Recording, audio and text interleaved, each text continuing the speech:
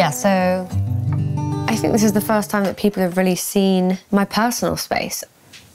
And this is it. So this is kind of where I've been somewhat working. And yeah, it's like a nice chill space.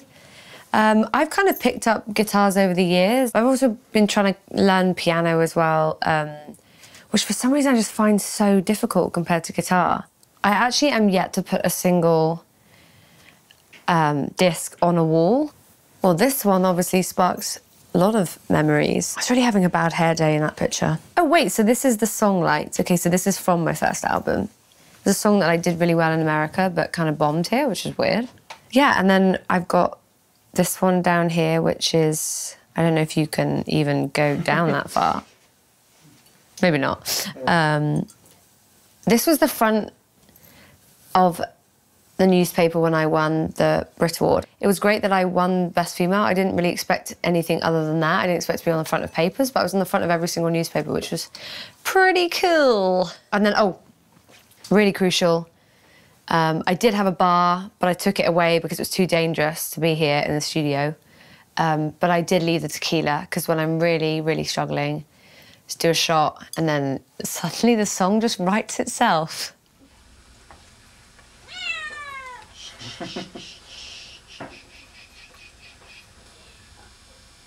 He meows for absolutely no reason.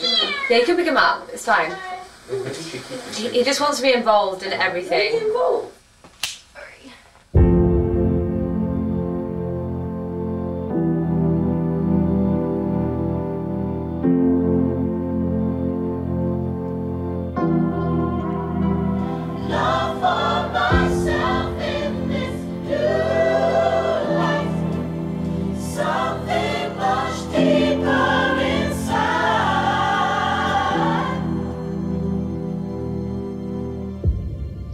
I got brightest blue. It was a, it was a light bulb moment, uh, blue a blue light bulb moment um, because I went to an exhibition in New York.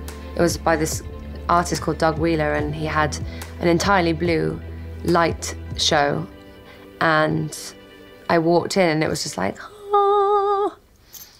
And the next day, we had this track, and it just it sounded like hope. The color blue is, is, is associated with, yeah, with sadness and melancholy. But I just love the idea of like being able to illuminate your sadness in some way. This album is the first album that's double sided. So, one side I feel like is my uh, album that truly represents my, well, who I am, my vulnerability and my honesty and my experience of becoming a woman. And then now I'm, I hear my cat meowing, for God's sake. It's, ne it's never quiet here. And then side B is, I, I, I describe it more as my alter ego because I collaborate with people. Um, it's more of a chance to be someone else and to kind of embody this, you know, this fearlessness and power and, you know, be a really, uh, you know, unapologetic uh, singer.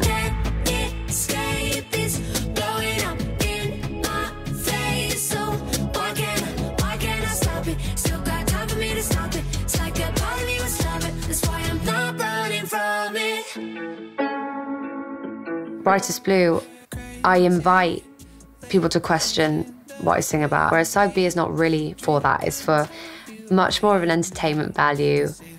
And it's almost like a license to kind of do what I want.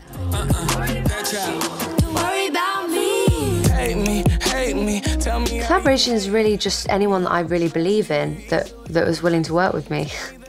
Swae and Diplo, obviously Juice WRLD, who sadly passed away, and uh, got Lauv on there. I just feel like I would have had a poster of him on my wall when I was 16. My voice has changed so much over the years. Like now I'm talking quite, I'd, I'd say my register is quite low. I need to try and talk like this more often, higher up, there somewhere. So when I listen to my older songs, I'm like, damn, I sound so young and had such a fast vibrato, didn't really know how to use my voice.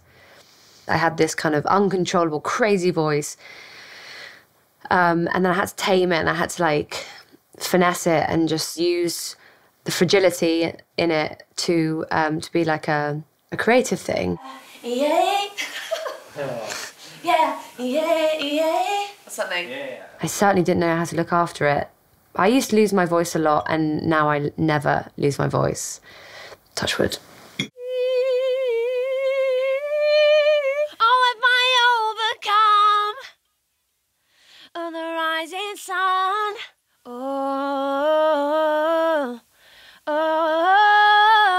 There was a series of circumstances and things that that meant that I could just live in New York anonymously. It was mostly in the winter I'd go and write, so I'd put on my massive puffer jacket and walk down Broadway to like to the studio.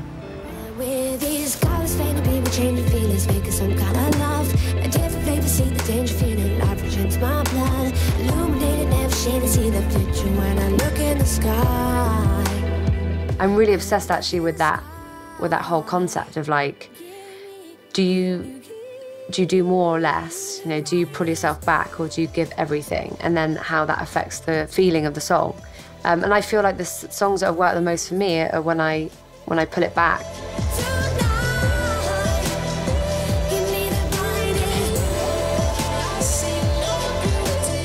So this is my album. This is what I have to offer to fans of music, fans of me, maybe new fans of me after this album.